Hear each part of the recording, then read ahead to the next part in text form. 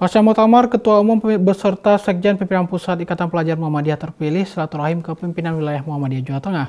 Keduanya usulkan program Ghost to Pesantren bagi kaum muda. Saya kira ini butuh kerja keras dari pimpinan sekarang. Saya melihat sejak dulu kan belum ada garapan-garapan ini. Iya. Pasca terpilihnya pimpinan pusat IPM pada Muktamar IPM di Universitas Muhammadiyah Purwokerto, Ketua Umum dan Sekretaris Jenderal terpilih Multazam Ahmad dan Yusuf Eryanuri kunjungi PWM Jawa Tengah. Dalam kunjungannya, pimpinan pusat IPM diterima langsung oleh Ketua Umum Pimpinan Wilayah Muhammadiyah Jawa Tengah Tafsir dan pimpinan wilayah Jawa Tengah lainnya. Ketua Umum PPIPM terpilih Multazam menyampaikan rencana ke depan dan memohon doa kepada pimpinan wilayah Muhammadiyah Jawa Tengah atas terpilihnya sebagai Ketua Umum PPIPM periode 2021-2023.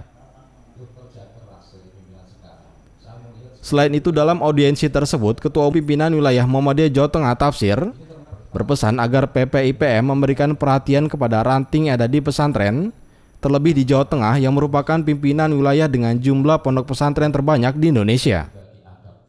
Berkunjung di pimpinan wilayah Muhammadiyah Jawa Tengah, saya Mutasam Ahmad Tawala bersama Sekretaris Jenderal terpilih.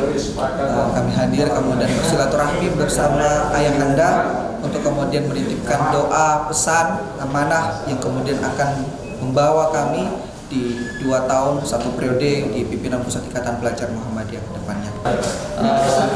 Tadi kami sudah bertemu dengan pimpinan wilayah Muhammadiyah Jawa Tengah, ada Pak Tafsir dan unsur lain. Tentu beliau menyampaikan banyak pesan yang sangat bermanfaat bagi kami dan akan kami diskusikan dengan teman-teman untuk menjadi program kami selama dua tahun ke depan. Terima kasih. Assalamualaikum warahmatullahi wabarakatuh. Alhamdulillah pada hari ini uh, audiensi Ketua PPIPM dan Sekretaris Ketua Umum dan Sekretaris Umum terpilih pada muktamar IKM yang baru selesai di UMP Purwokerto atas nama BWM menyampaikan selamat sukses atas terpilihnya kepemimpinan baru yakni Mas Tawala dan Mas Yusuf. Mudah-mudahan eh, duet ini akan membawa IPM ke depan akan lebih maju dan juga selamat atas muktamar yang berjalan dengan lancar, sukses. Dan inilah muktamar pertama mungkin yang menggunakan online dan ternyata memberikan pelajaran yang berharga bagi kita bagaimana sebuah pertemuan peradaban muktamar tidak harus secara off, offline tapi ternyata juga bisa dengan cara online dan ternyata berhasil lancar dan menghasilkan kepemimpinan dan program yang saya kira tidak kalah berkualitas dengan muktamar yang berjalan secara offline.